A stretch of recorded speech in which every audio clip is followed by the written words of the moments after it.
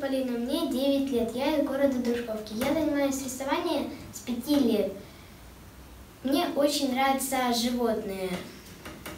Я, я очень давно хотела нарисовать фламинго, и у меня выпала такая возможность их нарисовать. Когда я рисовала, я увлеклась, и вместо одной работы у меня получилось три работы. Получилось триптих. Их соединяет линия горизонта.